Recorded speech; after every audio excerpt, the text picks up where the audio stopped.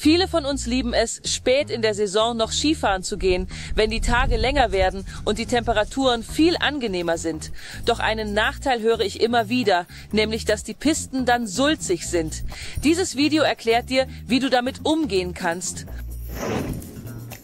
Was ist Sulzschnee denn überhaupt? Nun, im Winter, wenn es kalt ist und der Schnee frisch gefallen ist, fallen die Schneeflocken wunderbar ineinander und sie haften aneinander. Dadurch bilden sie eine kompakte Schicht. Aber wenn der Frühling kommt, wird es wärmer. Und dann schmilzt der Schnee in der Schicht teilweise. Es entsteht Schmelzwasser und die Schneedecke wird immer schwerer und schwerer. Nachts friert es oft noch und dadurch gefriert die Piste. So entsteht eine Art Eiskörnchen.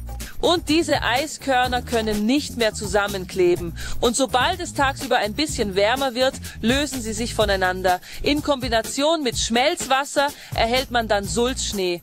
Tja, manchmal haben wir solche Bedingungen. Es ist einfach warm und es bildet sich Schneematsch. Der Schnee wird nass, fällt auseinander und dadurch entstehen Buckel und Häufchen.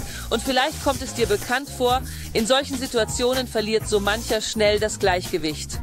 Die Haltung beim Skifahren ist hier unglaublich wichtig. Weil wir durch die Unterlage sehr schnell aus dem Gleichgewicht geraten, neigen wir dazu, unseren Oberkörper zu bewegen.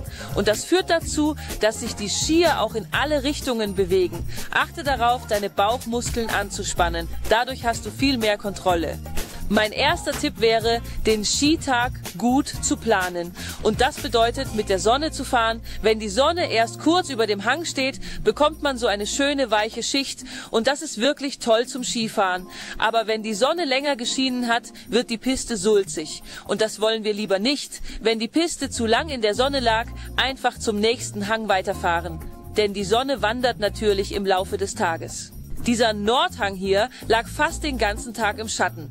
Und am Ende des Skitages ist die Piste noch immer gut. Dann die Geschwindigkeit. Man braucht Tempo, um durch den weichen Schnee zu kommen. Und genau hier liegt für viele der Knackpunkt.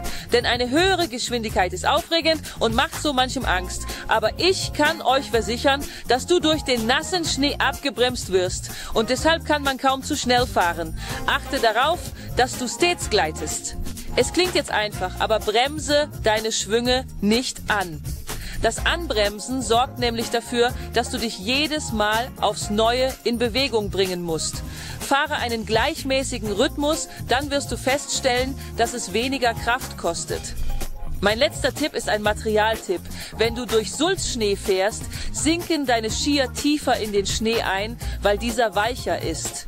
Statt für einen reinen Pistenski wie diesem hier, kannst du dich auch für einen All-Mountain-Ski entscheiden. Der ist oft ein bisschen breiter und häufig auch ein bisschen länger. Und dadurch schwimmt der Ski mehr auf dem Schnee. Du hast eine Art Surfgefühl. Ich finde, dann macht das Skifahren durch den Sulzschnee richtig Spaß. Ich hoffe, ihr habt von diesen Tipps etwas mitgenommen, denn für viele von uns ist das Skifahren durch Sulzschnee immer noch eine echte Aufgabe. Ich persönlich habe die Abfahrten im Frühling immer mehr zu schätzen gelernt. Ich bin sehr neugierig, was du darüber denkst. Bis zum nächsten Video.